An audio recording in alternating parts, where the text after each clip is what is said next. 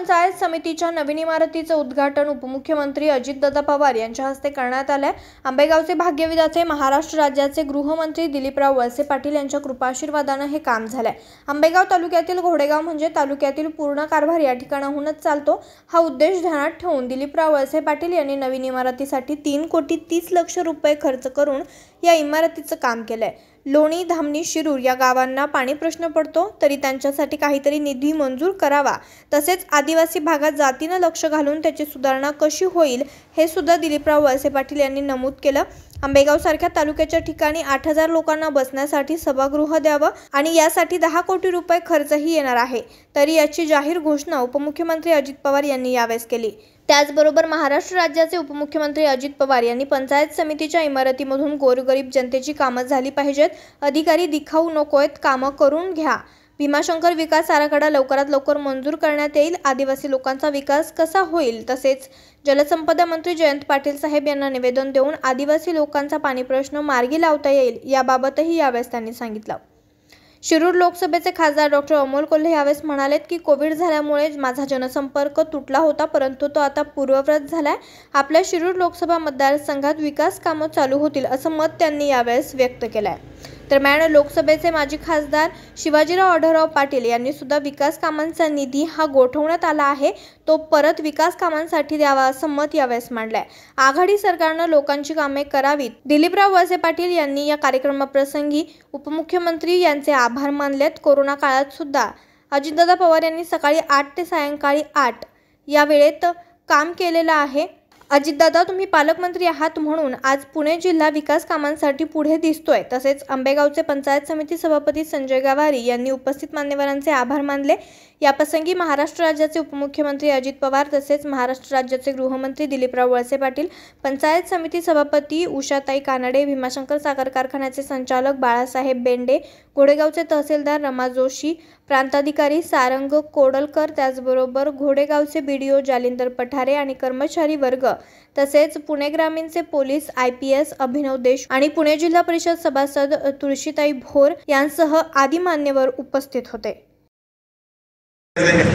मी त्याच्या संदर्भामध्ये तुम्हा सगळ्यांच्या करता दिलीपराव दहा कोटी रुपये जाहीर करतो.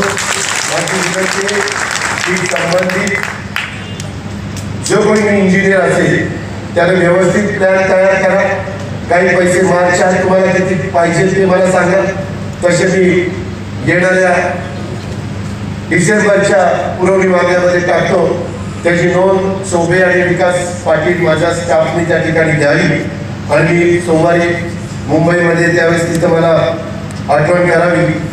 तशाच पद्धतीनं मगाशी दिलीपरावनी बोलत असताना उपसा सिंचन योजना कळम कळम जाईल कळमोली. कळम जाईल रे बाबा.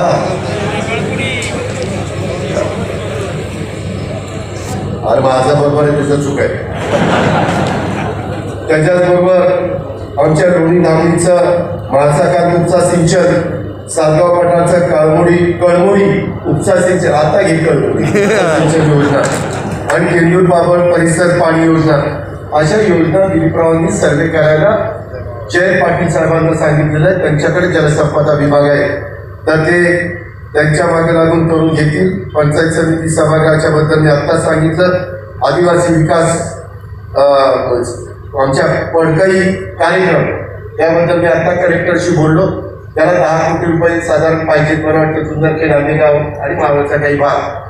तर त्याच्याबद्दल पण मार्चात मी पाच कोटी रुपये देतो. मार्चच्या नंतर पाच कोटी रुपये देतो. त्याही संदर्भातली नोंद चौबे आणि विकास पाटील तुम्ही करून घ्या. डिंब्याला तेहतीस केवीच्या उपकेंद्राच्या बद्दल माझे दिलीपराव तुम्हाला विनंती की डॉक्टर नितीन राऊतांशी आपण कॅबिनेट असताना ते बोलू आणि त्यांना सांगू. भीमाशंकर परिसर विकास आराखड्याच्या बद्दलची बैठक तुम्ही मला घ्यायला सांगितलेली आहे. ही बैठक मी पुण्यामध्ये असताना लावी त्या बैठकीमध्ये आपण त्याच्याबद्दलची चर्चा त्या ठिकाणी करू आणि पुढचे निर्णय घेऊ. मागाशी बोलत असताना आढळरावांनी काही माझ्या सुंदर तालुक्यातल्या अतुल बेनकेलच्या परिसरातल्या प्रश्नाच्या बद्दलचा उहापोह केला. अतुल कदाचित तुला माहिती असेल मधी अष्टविनायकाच्या बद्दलचा एक चांगल्या प्रकारचा विकास आराखडा करायचा आपण ठरवलेला आहे. त्याचा मध्ये माझ्या पुणे जिल्ह्यातली पाच ठिकाणं येत आहेत. एक माझ्या सिद्धटेकचं नगर जिल्ह्यातलं येत आहे आणि रायगड जिल्ह्यातलं पाली आणि महाड अशी दोन येत आहेत. अशा पद्धतीनं आजचा कार्यक्रम मी त्याच्याबरोबर टुरिझम मिनिस्टर आदित्य असे आम्ही सगळे बसलेलो होतो. तर तोही या परिसरामध्ये उभा राहिलेला दुधाचा धंदा त्याच्या माध्यमातून जी आर्थिक प्रगती सर्वसामान्य माणसाची झाली. त्या आर्थिक प्रगतीच्या माध्यमातून आज या भागातल्या शेतकऱ्यांचं जीवन सुसह्य असं झालेलं आहे. परंतु हे जरी असलं तरी सुद्धा अजून काही प्रश्न बाकी आहेत. दादा परवा मी तुम्हाला विनंती केली आणि आपण सुद्धा ती मान्य केली. की आज तुमचा भीमाशंकर विकास परिसराचा जो आराखडा आहे तो एकशे अठ्ठेचाळीस कोटीचा आराखडा आहे. आणि एकशे अठ्ठेचाळीस कोटीच्या आराखड्यामध्ये आतापर्यंत चाळीस कोटी रुपये मंजूर आहेत. यावर्षी निधीची अडचण नाही. फक्त आपण एक बैठक घेऊन त्याच्यामधून हे सगळे प्रकल्प मार्गी लावण्याच्या दृष्टिकोनातून काम करणं आवश्यक आहे. त्या दृष्टिकोनातून आपण प्रयत्न करावे लिंब्याला आमची तेहतीस तेवीस अष्टशेची एक मागणी आहे. ती मागणी सोडवण्याचा प्रयत्न आपल्याला त्या ठिकाणी करायचा आहे. आणि आदिवासी भागातल्या शेतकऱ्यांची खूप दिवसापासूनची इच्छा आहे की त्याच्यामध्ये जसं निंब्याचं धरण झाल्याच्यानंतर खालच्या परिसरामध्ये पाणी मिळालं. तसंच निंब्याच्या धरणामधून उपसा सिंचन योजना करून वरच्या भागामध्ये सुद्धा आदिवासी बांधवांना त्या ठिकाणी पाणी मिळालं पाहिजे. त्याच्या संदर्भामध्ये सुद्धा माननीय जयंतराव पाटलांनी सर्वेक्षणाचे आदेश दिलेले आहेत आणि सर्वेक्षण पूर्ण झाल्यानंतर ती योजना ज्यावेळेला मार्गी लावायची त्यावेळेला तुमचा थोडासा आधार आणि डेटा आम्हाला त्या ठिकाणी आवश्यक असेल. जी स्थिती सुद्धा आहे. आज तो एकच परिसर या भागातला आहे. की ज्या भागामध्ये आज सगळीकडं हिरवगार असताना त्या परिसरामध्ये आज August April August September October महिन्यामध्ये सुद्धा प्यायला टँकरनी पाणी द्यावं लागतं. तिथं सिंचनाची कुठलीही सोय नाही. त्याच्या संदर्भामध्ये सुद्धा रवींद्र करसकरांनी जयंतराव पाटलांना पत्र दिलेलं आहे. आणि जयंतराव पाटलांनी उद्याच्या एखाद्या आठवड्याभरामध्ये त्याच्या संदर्भातली मीटिंग आयोजित करतील. आम्ही सगळ्यांना बोलू आणि त्या बैठकीमध्ये हा प्रश्न मार्गी लावण्याच्या दृष्टिकोनातून काय करायचं हे आपण त्याच्यामध्ये ठरवतो परिसर आहे त्या सासगाव गटातला डॉक्टर पद्मसाहेब पाटील साहेब असताना आणि त्याच्यानंतर आपण कलमोडीची योजना मंजूर केली. कलमोडीचं धरण बांधून झालं. कलमोडीचं धरण बांधून झाल्याच्यानंतर ते पाणी उपसा सिंचननी वरती टाकायचं होतं. परंतु मध मधल्या काळामध्ये अजितदादा त्याच्यामध्ये काही मग खेडच्या आमदारांचं मत वेगळं आलं आमचं मत वेगळं आलं. परंतु माझी तर हीच भूमिका आहे. खेडच्या ज्या गावांना पाणी द्यायचं असेल त्या गावांना तुम्ही जरूर पाणी द्या. पण आज ही कलमोडची योजना झाली तर हा सातगाव पठारचा परिसर आणि शिरूर तालुक्यामधला सुद्धा हा केंदूर परिसरचा केंदूर आणि त्या परिसरामध्ये पाणी मिळायला राज्याचा गृहमंत्री म्हणून काम करत असताना माननीय उपमुख्यमंत्री माननीय मुख्यमंत्री यांच्या बरोबरीने त्या ठिकाणी काम करायची संधी माझ्यासारख्या कार्यकर्त्याला मिळते. त्यावेळेला निश्चित प्रकारे त्याच्यामधून सगळ्या राज्याला बरोबर घेऊन जात असताना सगळ्या आपल्या सहकाऱ्यांना बरोबर घेऊन जात असताना आपल्या भागातल्या अडचणी सुद्धा त्या तितक्याच चांगल्या पद्धतीने मांडायची सोडवायची आवश्यकता आहे. मी एवढंच या निमित्ताने सांगतो. आणि जाता जाता जाता तुम्हाला एक विनंती करतो की एवढी सुंदर इमारत झाली. पण या घोडेगावमध्ये आम्हाला जर एखादी चांगली सभा घ्यायची असली तर आठशे हजार लोकांना बसता येईल असं एकही सभागृह या घोडेगावमध्ये नाही. हे जर सभागृह एखादं तुम्ही आम्हाला मंजूर करू शकला तर निश्चित प्रकारे त्याचा फायदा या परिसरातल्या सगळ्या भागाला होईल एवढीच मी मागणी आपल्याकडे या ठिकाणी करतो. आणि अधिक बोलता आपण आलात पुन्हा एकदा आणि तुमचं कालच सोमेश्वर दोन वर्षानिका व्हायला दोन वर्ष आपण हा कार्यक्रम वापरत जरी असलो ही इमारत तरी दोन वर्षाने हा कार्यक्रम आपण या ठिकाणी घेतलेला आहे. माझी खात्री आहे की उद्याच्या काळामध्ये अतिशय चांगल्या पद्धतीचं फर्निचर होऊन ही जी इमारत आहे या इमारतीच्या माध्यमातून निश्चित प्रकारे सर्वसामान्य माणसाला काही इथं आल्याच्यानंतर आपले प्रश्न घेऊन आल्याच्यानंतर मग विकासाचे प्रश्न असतील योजनांच्या संदर्भातले प्रश्न असतील वैयक्तिक लाभाच्या योजना असतील त्याच्या संदर्भातले प्रश्न सोडवण्याच्या दृष्टिकोनातून या पंचायत समितीच्या इमारतीचा निश्चित प्रकारे फायदा होईल याची मला खात्री आहे. आणि म्हणून अतिशय सुंदर अशी इमारत या ठिकाणी बांधली.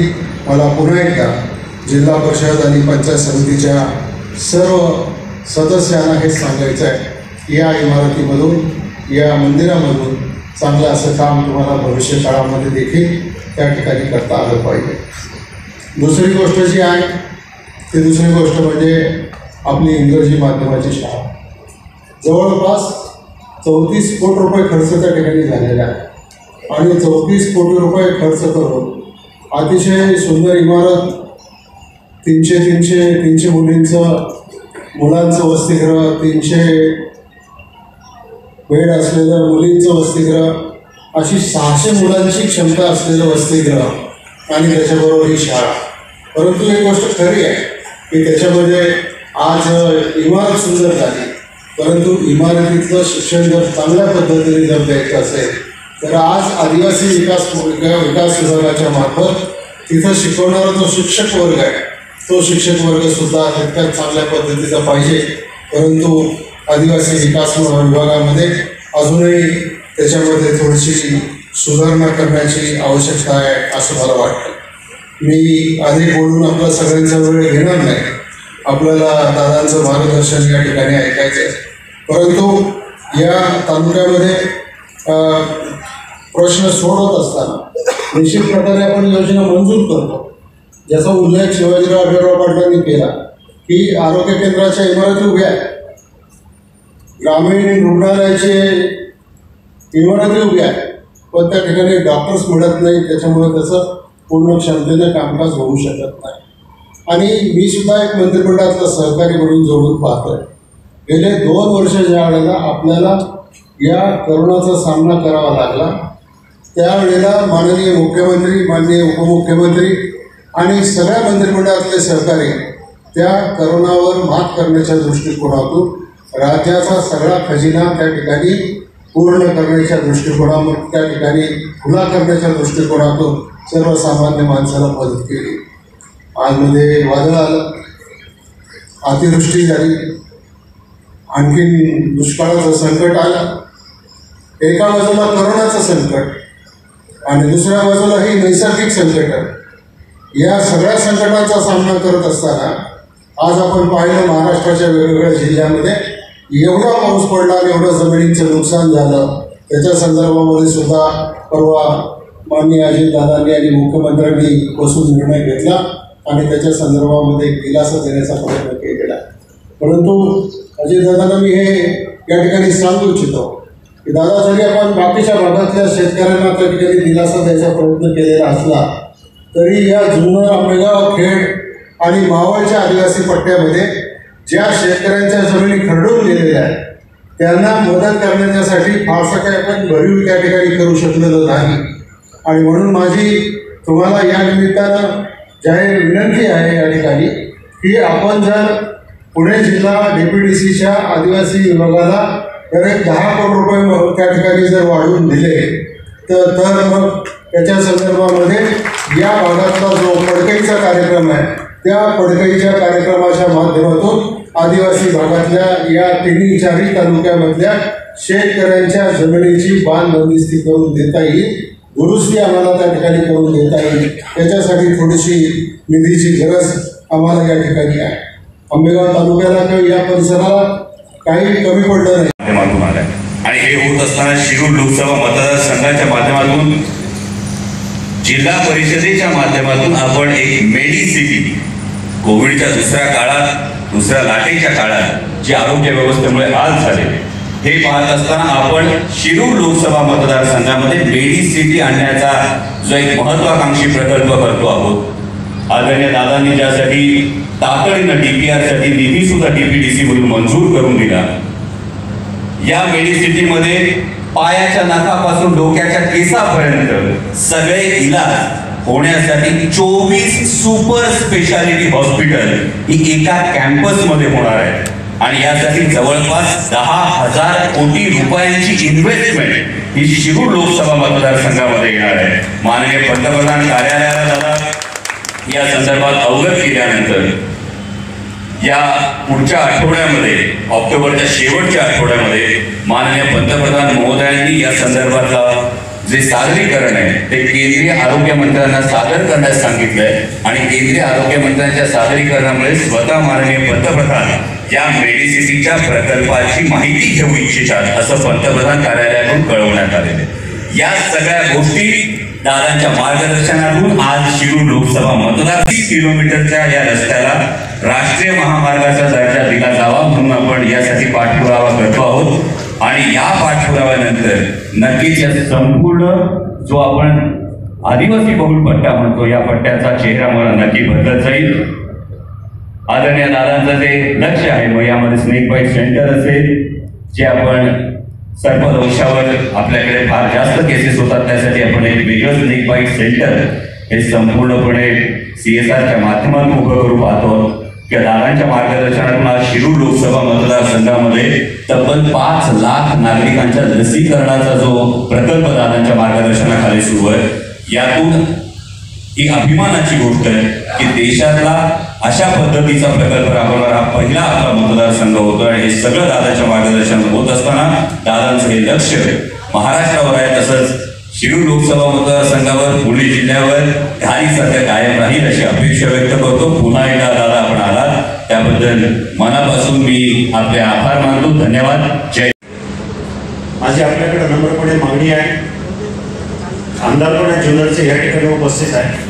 की त्या ठिकाणी आपण जर जातीने लक्ष घातलं तर जुन्नर तालुक्याच्या पर्यटनासाठी कारण महाराष्ट्रामध्ये असा एकमेव तालुका आहे की निसर्ग निसर्गाच्या माध्यमातून चांगला नटलेला होता.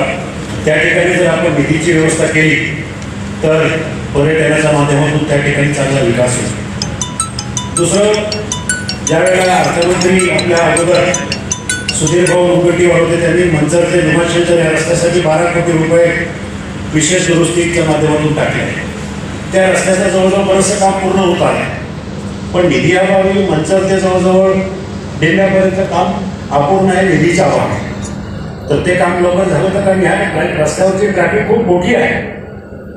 आणि सगळं जर बघितलं तर हा सगळा जुन्नर आंबेगाव खेळ ह्या तिन्ही तालुक्यातल्या प्रमुख गावांमध्ये आता विकास व्हायला लागला वस्ती वाढायला लागली औद्योगिकरण वाढायला लागलं आहे आणि त्यामुळं आपण पायाभूत सुविधा देण्यामध्ये कुठेतरी कमी पडायला नको ही माझी आग्रहाची विनंती. दुसरं आपल्या सगळ्यांना मला सांग आवर्जून या ठिकाणी उल्लेख करावासा वाटतो. की पुणे नाशिक रेल्वेच्या संदर्भात. माझं जवळजवळ पंधरा वर्षापासूनचं प्रेम आहे. पंधरा वर्षापासूनचं स्वप्न आहे. त्या इलेक्शनला माझ्या काही लोकांनी चेष्टा केली होती की झुकझुक गाडी रेल्वे गाडी वगैरे असा प्रचार जरी केला असेल तरी त्या पाठीमागे पंधरा वर्षाचं मेहनत होती पंधरा वर्षाचा परिश्रम होतो. रेल्वे काय वर्षा दोन वर्षामध्ये रेल्वे मंजूर होत नाही. दादा तुम्ही आणि मुख्यमंत्री त्यासाठी राज्य मंजुरी दिली त्या अगोदर बारा वर्षापूर्वी अर्थमंत्री असताना दिलीपराव वळसे पाटील यांनी केंद्र सरकारला हमी दिली होती की राज्य सरकार सुद्धा पन्नास टक्के खर्चाचा वाटा उचलेल आणि त्याच्यानंतर कुठेतरी चालना मिळाली. आणि मी म- प्रत्येक रेल्वे अर्थसंकल्पामध्ये हा प्रश्न म्हणून त्याच्यावर हा प्रश्न मंजूर करून घेतला. पण आता सुद्धा जवळजवळ एकशे दोन गावं ह्या प्रभावाखाली आहेत रेल्वेच्या रेल्वे रूटवर एकशे दोन गावापैकी जवळजवळ अठ्ठ्याहत्तर गावांची मोजणी झालेली आहे. म्हणजे वीस बावीस टक्के मोजणी व्हायची गावं बाकी जरी असेल तर आणि दुसऱ्या बाजूला रेल्वेचं फायनल मंजुरी. केंद्र सरकारची मी गेल्या परवाच्या दिवशी माझी बैठक झाली. येणाऱ्या आठवड्याभरामध्ये दहा दिवसामध्ये झाल्यानंतर त्यांना सुरुवातीचे पैसे जिथे दोनशे तीनशे कोटी रुपये. राज्य सरकारने सुद्धा दोनशे तीनशे कोटी रुपये देऊन सुरुवात केली. तर भूसंपादनाचे पैसे देणे आणि त्या कामाला सुरुवात झाली.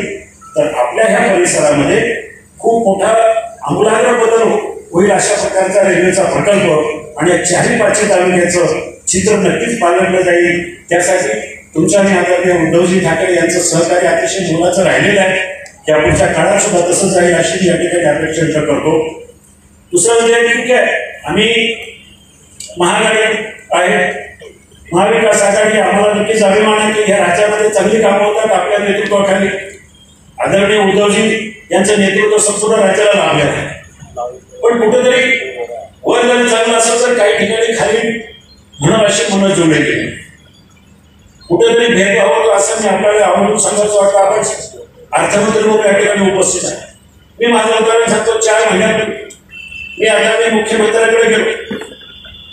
त्यांना सांगितलं की साहेब मला माझ्या गेल्या त्यांना ज्या वेळेला मला उद्धवजीने सांगितलं की दादाचा दादाजी भुसे आणि पंकजा मुंडे यांनी मला पंचवीस पंधरा तो काही निधी दिला नवीन सरकार आल्यानंतर तो निधी कॅन्सल केला. त्यातले दीड कोटी रुपये माझे कॅन्सल झाले. माझी वर्क ऑर्डर दिलेली कामं कॅन्सल झाली. त्यावेळेला उद्धवजींना मी गेलो म्हटलं दीड कोटी आताचे नवीन दोन तीन कोटी असे चार कोटीचं पत्र दिले. उद्धवजींना त्याच्यावर विमान मारला. सचिव- प्रधान सचिवाकडे दिलं त्याने सगळं प्रपोजल करून हसन साहेब मुस्लिमकडे दिले. मुस्लिम साहेबांकडे मी गेलो त्यांनी मला सांगितलं तुम्हाला आवर्जून देत चार बैठका झाल्या तीन महिन्यामध्ये नक्की नक्की देतो म्हणून सांगितले. शेवटी चार महिन्यानंतर मला सांगितलं की शिवाजीराव मला खेळानं सांगावं वाटतं की तुमच्या मतदारसंघामुळे आमचे चार राष्ट्रवादीचे आमदार असल्यामुळं आम्हाला निधी देता येत नाही. मी त्यांना म्हटलं तसं नाही आहे जरी चार आमदार असले तरी मी जो निधी मागितला तर प्रामुख्याने आपल्या शिरूर मतदारसंघामध्ये न्यूज रिपोर्टर दत्ता नेटके आज चोवीस तास घोडेगाव.